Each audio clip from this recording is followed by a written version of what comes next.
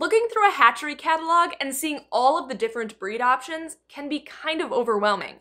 Today, we're gonna go through my five top breeds for beginners to help you determine what chicken breed is right for you. Hey, this is Ashley at Square Root Farms, and this is part two of my mini series four decisions you need to make before getting chickens. And I created a PDF guide to go along with these videos, so make sure you go and download it so you can follow along and fill it in.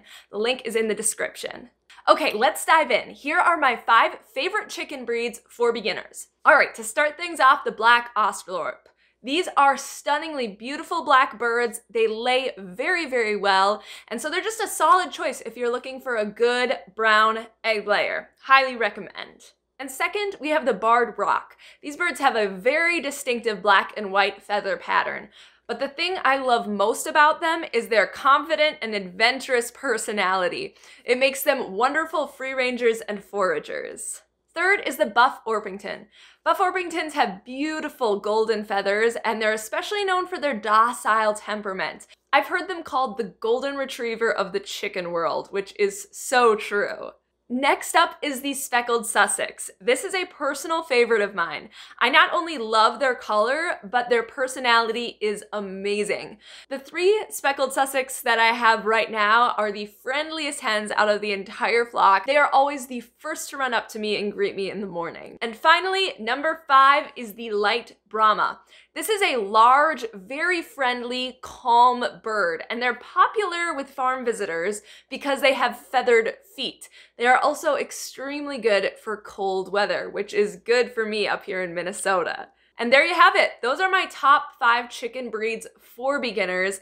These breeds have made up the core of my flock for the past 10 years. They are dependable egg layers, they're cold hardy, and they have great temperaments. You'll also notice that they're all different colors, which I love because I like to have a little variety in the flock. So although those breeds are my personal go-tos, here are a few other breeds you can keep in mind when you're searching for your perfect chicken. If you are looking just for production, there are some newer hybrid breeds that are known for their extremely high egg production. These are breeds like Red Stars, Amber Links, and Golden Comets. Personally, I don't have much experience with these breeds, but I'm not necessarily opposed to giving them a try especially if it means more farm fresh eggs. The second thing to consider is more and more people are starting to raise chickens that lay colorful eggs. Blues, greens, really dark chocolate browns. So if you've been swooning over pictures of a super colorful egg basket, here are a few breeds you can try.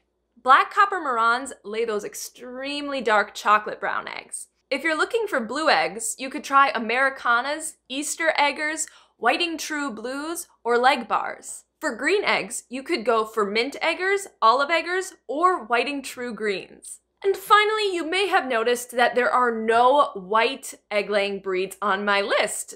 And confession, I've actually never owned a white egg-laying chicken.